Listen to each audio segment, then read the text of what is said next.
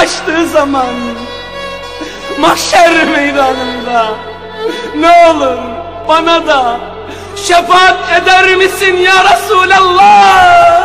Şefaat ya Resulallah. Demiş yılan. İşte ben buna yanıyorum. Bir yılan kadar olamadım ya Rab. Bir yılan kadar Resulullah'ın aşkına yanamadım yanamadım yara.